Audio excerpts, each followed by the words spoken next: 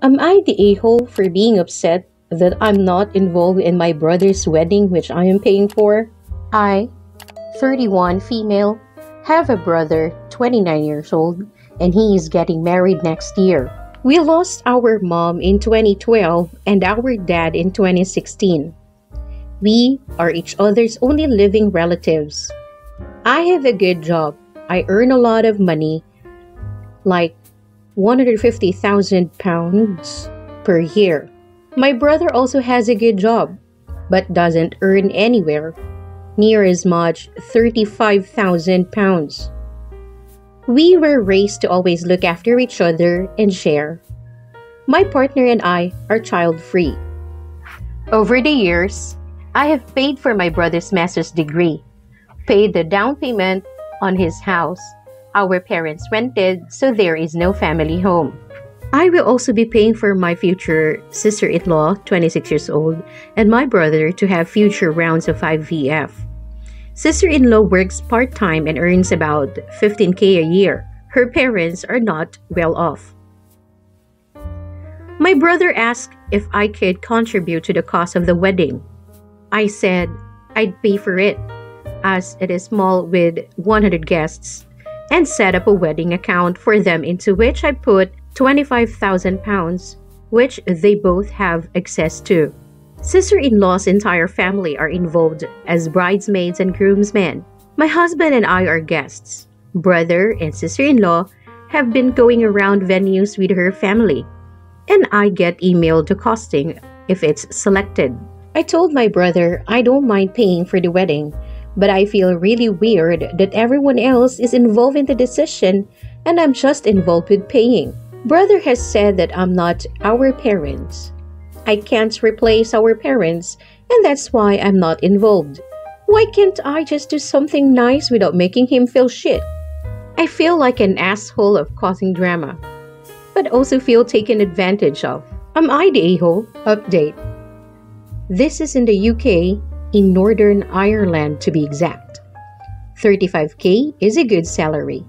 I don't have student debt to pay off because I didn't go to university.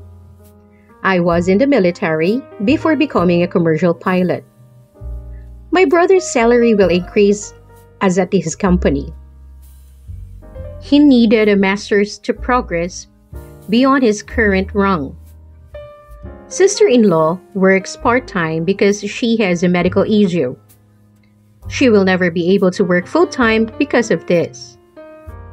Related, it isn't clear if this is impacting fertility. In Northern Ireland, you get one round of in vitro fertilization on the National Health Service, which they get. They paid for two more at 8,000 each. Sister in law family paid for another and stipulated they won't be able to afford to pay for a wedding if that was the case. Brother and sister in law have been emotionally through the ringer with fertility issues. It isn't a cynical attempt to get money. For all of y'all talking about adoption, there is some serious BS about sister in law's illness meaning they aren't attractive candidates. I am close with my brother, but do pay for things we do together.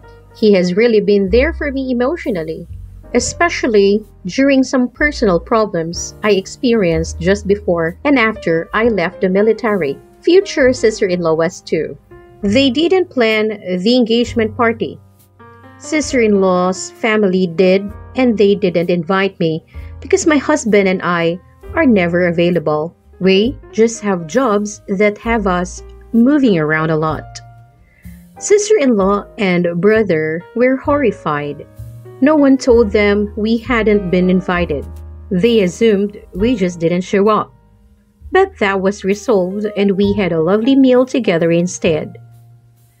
My husband is supportive of our financial assistance. We are also helping his sister with her college costs. Though why she had to go to the US when we have university educations that don't cost an arm and a leg right here is beyond me. Also, any of you who have paid your way through an American degree, I salute you. I still don't know what to do. but I do think maybe I'm not setting him up for success as I hoped. And also that I do deserve more recognition even if it's just privately from him. We'll keep you updated. Top comments. You're not the a-hole. You are not his parent, but let's face it, you have certainly financially supported him like one in so many different ways. And it doesn't sound like you are trying to control things. Just want to be included the same as sister in law's family has been. Now that he is going to be a great big married adult, I think it is time you cut off your support and let him be the independent person he is. Edit. Wow, thanks for the awards. Another comment from Sufficient Stage 489. I don't think you should even pay for the wedding. If he's behaving like this now, he'll just cut you off and contact again when he needs help. So, not worth of your effort and money. Not the a-hole, obviously, but he is a major AH. Another comment from Molo FLA. I disagree. It's just straight up disrespectful to take 25,000 pounds from your sibling for your wedding and make them feel like shit for wanting just to be as involved as the other side of the family. That is a massive amount of money in Northern Ireland where OP is.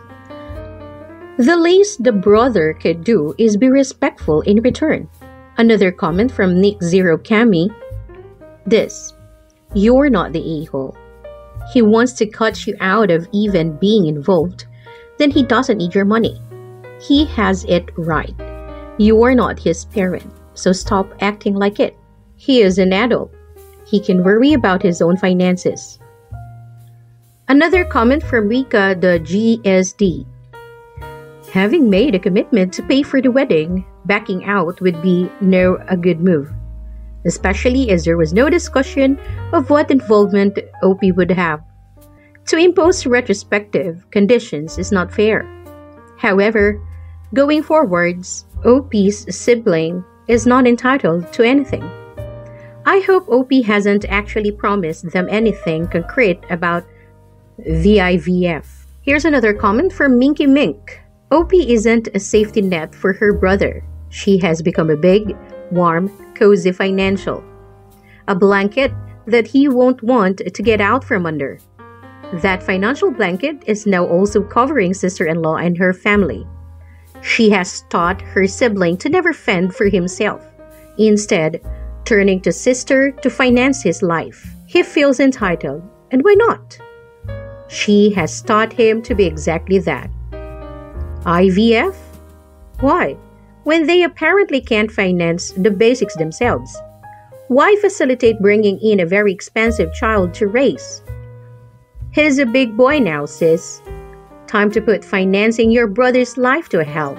Teaching him and sister in law how to be financially helpless doesn't do either of them any favors. Here's a comment from Similar Minimum 185. 25,000 pounds grand for a wedding is ridiculously expensive. They could get married with a good ceremony for a couple grand. Why couldn't they have a smaller wedding and use the rest towards IVF? They seem like the more that gets offered, the more they will expect. I would feel ashamed accepting that amount of money to blow on one day.